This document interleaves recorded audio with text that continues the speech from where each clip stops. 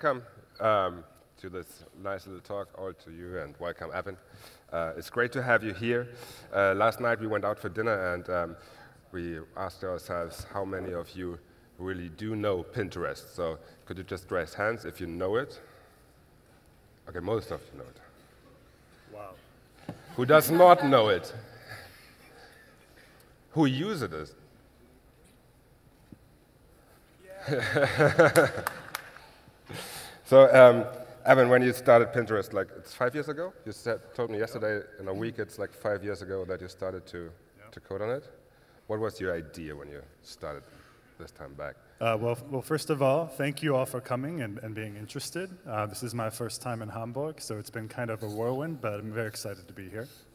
Um, so yeah, let's see. We started Pinterest. It'll be five years ago in a week or two, so it's just a little bit younger than that. And um, you asked what the idea was.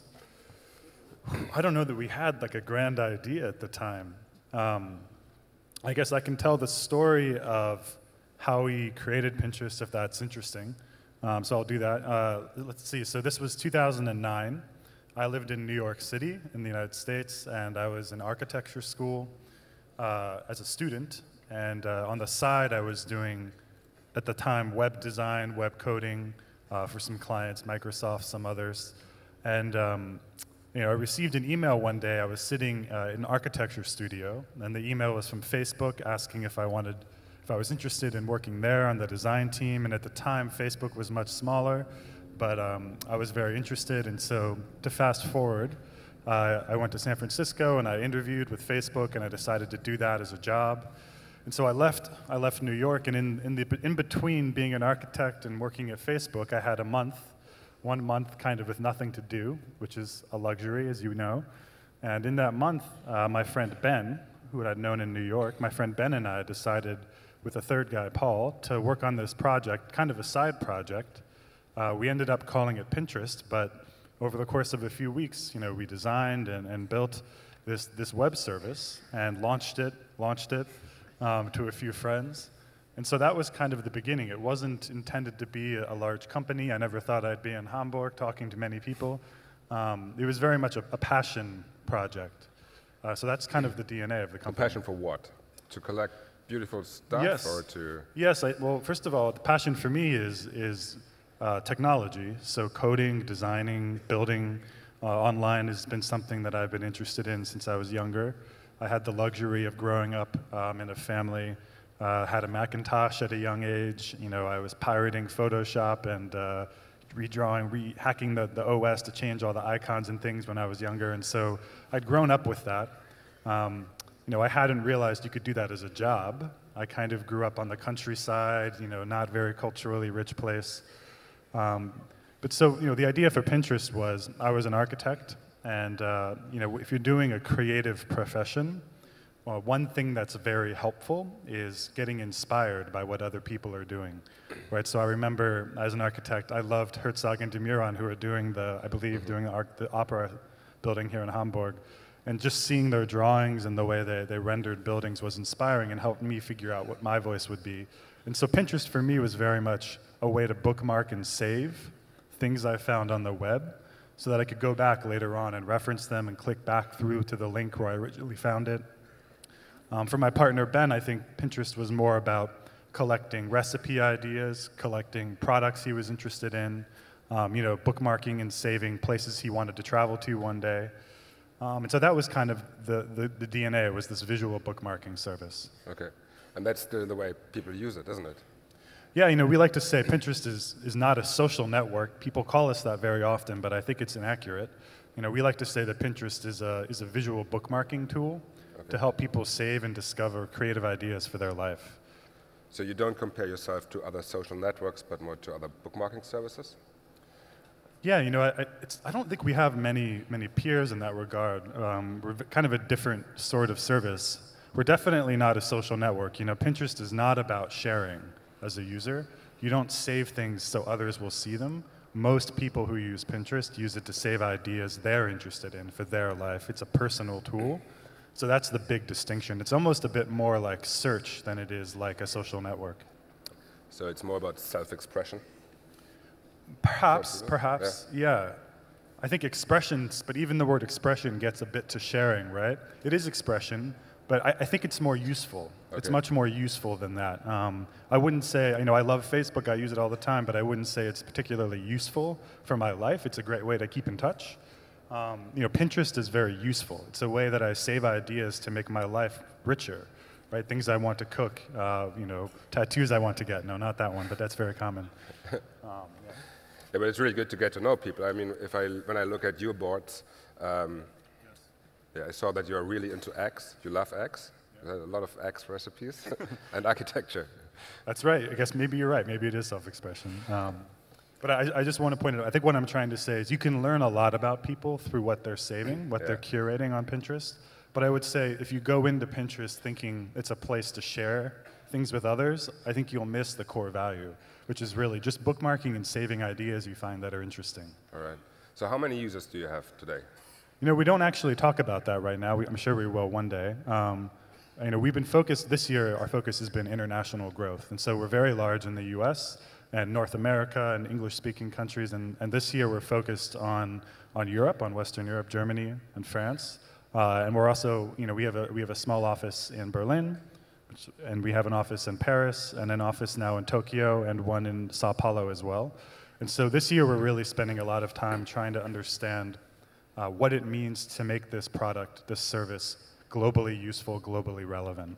Why do you focus on these countries? Uh, we focus on these countries because, in our minds, these are kind of the taste-making cultures of the, of, of, the world, right? And so we choose Tokyo and Japan because we feel like that's the cultural center in many ways of Asia. Uh, same thing with Sao Paulo in Brazil, same thing with Berlin and, and Paris, right? Uh, these are the places, in our, in our opinion, that the taste-making is, is coming out of, that is driving the culture. And, you know, Pinterest is not just a service, it's also a brand for people. Um, right? Like every company, we have a strong brand, not every company, but we have a very strong brand, and it's important to us that that brand is aspirational, that it's you know a little bit of a higher thing, and I think starting in these countries helps us build that image from the beginning. Okay, so you look a lot at quality taste making. That's really important for you to draw other people then into the platform too. We think so.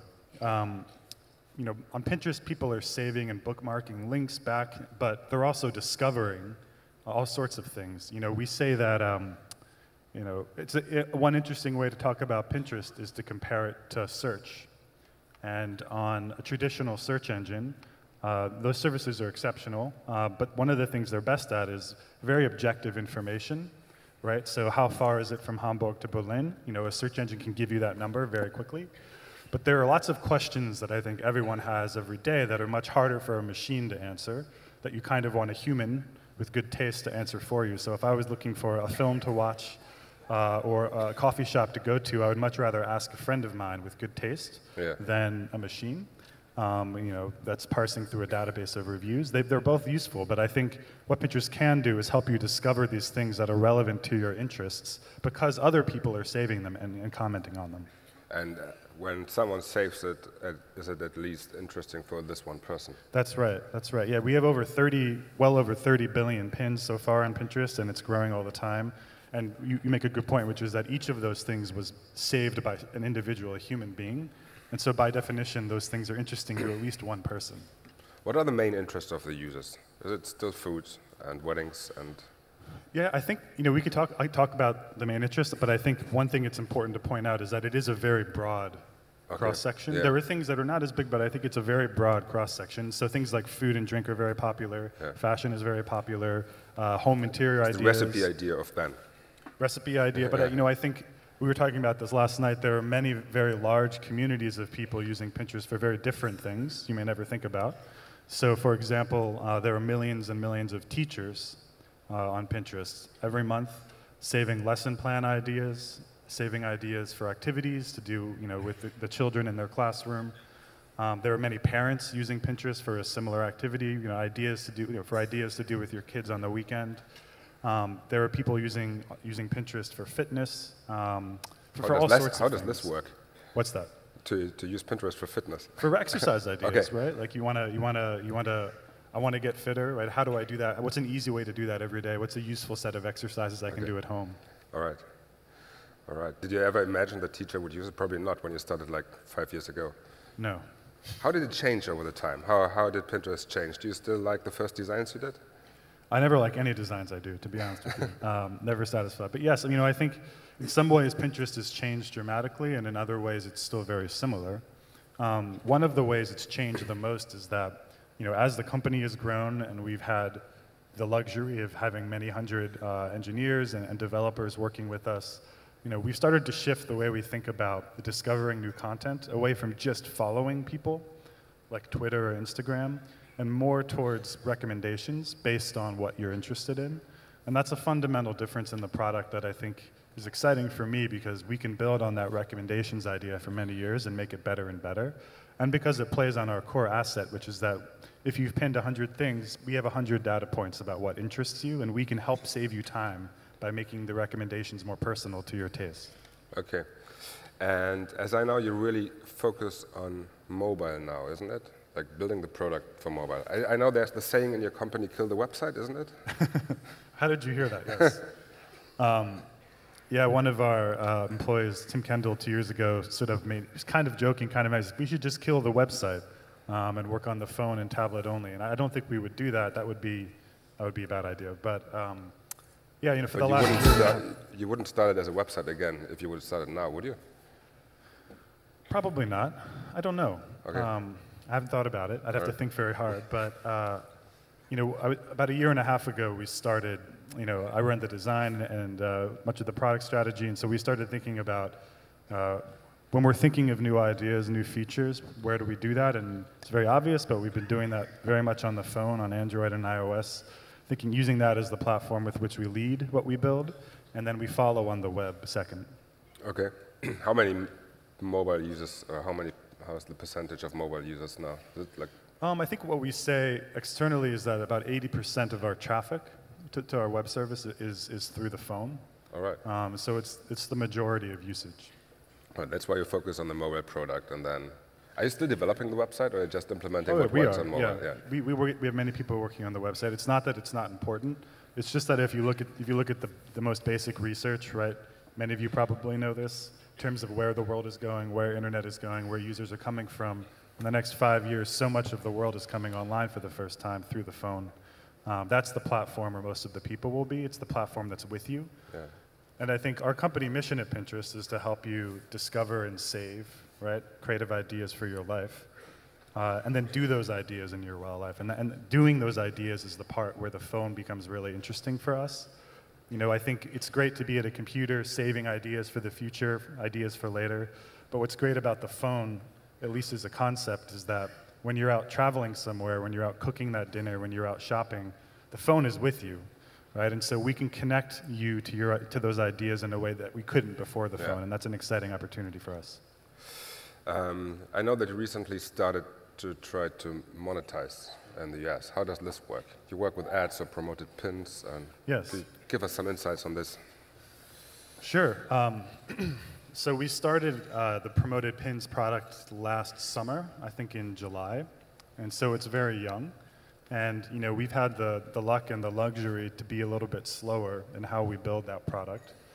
And um, you know, so far it's gone really well, I would say. It's US only, and we've worked primarily with a handful of partners that we feel are high quality. And one of the reasons we've taken it a little bit slower is that we really want to ensure these promoted pins are a good experience. Uh, they're not intrusive. You know, I think one of the things about Pinterest that's interesting is that much of the content, many of the pins on Pinterest, are already coming from businesses, from retailers, from brands. And if you, you know actually, how many in percentage? Um, I don't think I don't think it's that simple actually okay. for us to know, but probably over half. Um, and you know, if you, one of the things, if you, if you looked at Pinterest and you hid who pinned something, if you just kind of looked at the object, the pin itself, uh, it would probably be very difficult to tell which one was promoted and which one wasn't. And so that's good for us. It means the ads won't feel weird, they won't feel as intrusive as they might in a social network, let's say. And so we've been taking it slowly to make sure that we hit that quality bar from the beginning. But it works till now? yeah, so far it's been great. You know, yeah. you know, we haven't shared a ton yet, but we will in terms of results. Uh, one of the most interesting things is that I think we see a lot of earned media. So a lot of people sharing and saving these, these ads just in an organic way. And the result of that is that even after you stop running a campaign, you see a lift in people's impressions of your stuff and click-throughs to your service because you built brand awareness. And so you know, we'll do research to prove that it takes a while to do that research. But so far, we're very optimistic. Do you already have plans to roll it out internationally? Uh, we don't have plans yet, but uh, I would anticipate we will soon. Okay. And then I read about the buy button you're planning so that people can buy Where did stuff you read about that? somewhere. Yeah, we have no plans to do a buy button right now, I would say. Um, but what I, what, what I like about But you're thinking idea- about it at least. Um, I think about lots of things. Um, you know, we just did a very small launch in the US two weeks ago around what we call app pins. So we partnered with Apple. We have a good relationship with Yeah. them. And um, Could you just explain how this works? Sure, sure. So uh, people pin apps to Pinterest, right? They save them for later. So if you're if you're into gardening, let's say, uh, and you're looking for ideas for your garden, maybe it's a good idea then to come across an app. And so what app pins are is when you come across an app on Pinterest, right? We pull in the data from the App Store. For now, it's Apple only, and there's an install button right there, so you can install the app without leaving the service. You know, and for me, again, that gets back to helping you do these things you're discovering, helping, helping you take action on them, not just look at them. Um, and so I, I mentioned the app, the app pins product because I think it's a good template. We, it's what we call a rich pin, a pin with lots of useful information to help you decide if you want to do something. And you could imagine the buy button idea being maybe one day an extension of that. Oh, okay. Um, yeah, because I just read your. I thought you're planning this because I also read that you uh, killed all these affiliate links bloggers had in the, isn't it? That you just Yeah. skipped the affiliate links. Well, we've been preventing many affiliate links for years. There were a few that we allowed in. Um, that was not, that, that idea was mostly about the user experience, actually 100% about the user experience. You know, we found that affiliate links were problematic. Pinterest doesn't work if the things you find don't have a good link. If you find a great jacket you want to buy and you click on the jacket and it goes to a 404 or a spammy page, Pinterest isn't working as a product. And we found that a lot of the affiliate link providers weren't maintaining their links over time, and so things were breaking, and it was just a very bad or slow experience. And so for now, we decided we're not going to allow that to keep, to keep Pinterest more useful for the user base. but that's just for now. So maybe you're working on it again. Yeah, I know. I, I don't know exactly what we'll do, but we'll, we'll those, uh, tho- that community of people will have a, the, the community of tastemakers that were using affiliate links are very important to us for obvious reasons. And uh, I think we'll figure, you know, we're working with many of them to figure out the right solution for their business or their, their, uh, their, their skill set. How can brands use Pinterest to, to get referral traffic? To Sure. I mean, I do you have good examples for that? yeah, we, I think we have lots of good examples. Um, you know, I think I like to describe Pinterest about it, it, it's about the future for people, right? And so, uh, if you're using Facebook or want Twitter or Instagram, yeah, maybe what you want to buy, but Or you know, most have. social networks are about kind of your past, right? Your, your memories, or they're about what's happening right now. Mm-hmm. And Pinterest is different. It's not about those things. It's mostly about the future for people, what they may want. Um, and it's a very different mental space to be in. And so, if you're a brand or a business, um, you know, Pinterest is about being part of that mental space for people, right? It's about, you know, when you're planning what you want your new interior, your apartment to look like, it's a good place for a brand to help you with that process in your life. And so, you know, very tactically, we drive a ton of referral traffic. You know, after Google and Facebook, we're probably the largest. It's hard to know uh, on the internet in terms of traffic driven. Um, but it's not just as simple as us driving traffic. You know, we also generate so many impressions, and it's a very valuable place for people to come across your brand if it's in the right context. And so I think, uh, you know, for brands, it's about it's about being useful. It's about being helpful to people as they're planning these ideas for their future. And examples of that, I mean, I think uh, the whole range of lifestyle businesses and brands are, are popular on Pinterest, and even brands like BuzzFeed are doing really exceptional work. Uh, you know, what, Buzz, what BuzzFeed is doing um, is kind of looking at the content they think is interesting, and then they have a team. You know, they saw so much traffic from Pinterest, they built a special team that takes that, kind of reformats it to a way that they think makes it more popular or discoverable on Pinterest, and that's had a lot of success for them in terms of traffic driven. Okay, oh, that's interesting. Um, do you have like five most important tips for us to use Pinterest if you're a brand? Is there something like Probably this? not. I mean, I don't, I don't know. I think you know we have a, a set of really good guidelines um, on our partner website, and um, you know we're just starting in Germany to understand what will make the service useful here. uh, right? We built a team. It's been around since last August. Um, actually, the leader of that team uh, is so devoted that he took a flight to the United States during the World Cup final, which is crazy. Um, That's true. but uh, you know, so we've been working with. I think I think what we've learned, and it's very obvious, but what we've learned in Germany and in France as well, although they're very different, is that uh, if you're discovering a recipe on Pinterest, right, you want it. It needs to be actionable if you're in German. If you're a German, right, that means it needs to be relevant to your life. The ingredients need to be in the right metric system. And so, partnering with local businesses and brands is a very important way of making the service more useful to the users, right? And so, we partnered with Audi and Porsche and Maggi and, and several other German businesses, and we'll be doing more in the, in the months to come. And the goal there is to help what we think are great brands, right, great German brands, connect with, connect with German, German audience, and also to get the stuff that they're building and creating for their customers discovered on Pinterest by, by, by the millions of German users we're going to have in, by end of the year. All right, thank you. I think the guitar means that we have to stop. thank you so much, Evan. Thank you very much.